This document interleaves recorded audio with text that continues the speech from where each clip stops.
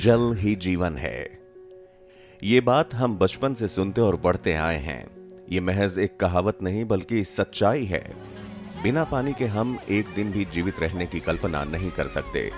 पीने के अलावा हम पानी का इस्तेमाल अपनी दैनिक ज़रूरतों को पूरा करने के लिए करते हैं। केंद्रीय भूजल बोर्ड 2015 की रिपोर्ट के अनुसार भारत विश्व में सर्वाधिक भूजल का उपयोग करने वाला देश है। भारत में अनुमानतः भूजल का पिचासी प्रतिशत कृषि में, पाँच प्रतिशत घरेलू तथा दस प्रतिशत उद्योग में इस्तेमाल किया जाता है। भयंकर भूजल दोहन के कारण 2007 से 2017 के बीच देश में भूजल स्तर में इकसठ प्रतिशत तक की कमी आई है। ये स्थिति वाकई चिंताजनक है। लिहाजा पानी को सहेजने के लिए हमारे देश की सरकार ने कई बड़े कदम उठाए हैं, जिसमें से एक सार्थक प्रयास है ग्रे वाटर मैनेजमेंट। दरअसल, रोज़ाना के उपयोग के बाद जो गंदा पानी नालियों में बहता है, वो दो प्रकार का होता है, ग्रे वाटर और ब्लैक वाटर।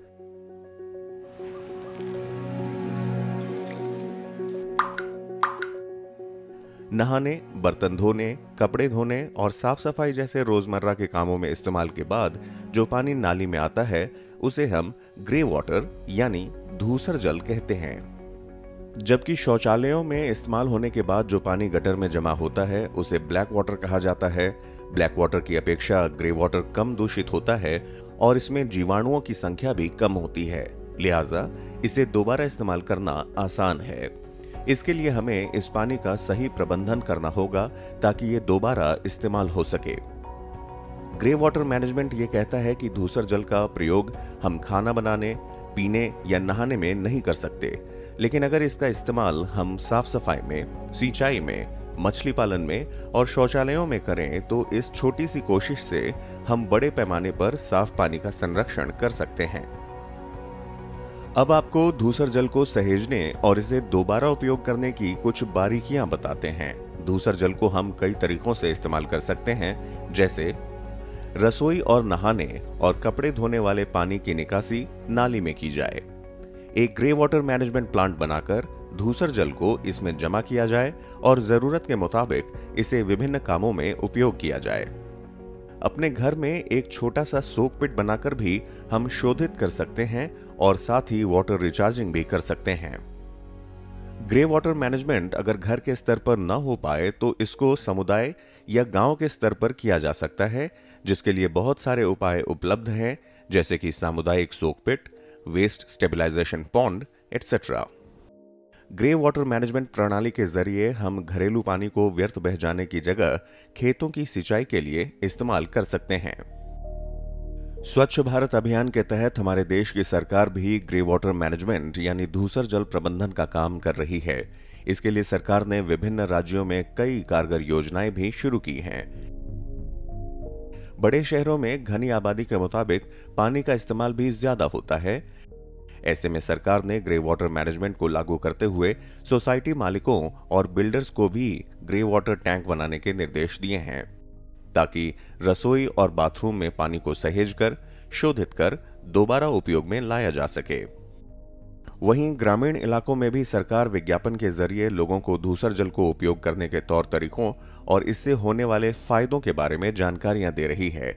साथ ही धूसर जल प्रबंधन पर मुफ़्त परामर्श के लिए सरकार की तरफ़ से विशेषज्ञों की टीम भी गाँवों में उपलब्ध है। अब ये भी समझने की कोशिश करते हैं कि आखिर ग्रे वाटर मैनेजमेंट से हमें क्या लाभ होगा और इससे बड़े स्तर पर क्या परिवर्तन हो सकते हैं। ग्रे वाटर मैनेजमेंट के लाभ। खाना बनाने और पीने के लिए हम भूजल पर आश्रित हैं और ऐसे में कुदरत से जो साफ़ पानी हमें मिलता है, उसका सही इस्तेमाल होगा। गाड़ी धोने, फर्श धोने और शौचालयों में इस्तेमाल करने से जो साफ़ पानी बर्बाद हो जाता है, उसे रोका जा सकेगा। उपयोग के बाद रोज़ाना लाखों लीटर पानी नालियों के ज़रिए नदियों तक पहुँचता है, जिससे नदियाँ दूषित होती हैं। धूसर जल प्रबंधन से बढ़ते जल प्रदूषण पर रोक लगेगी।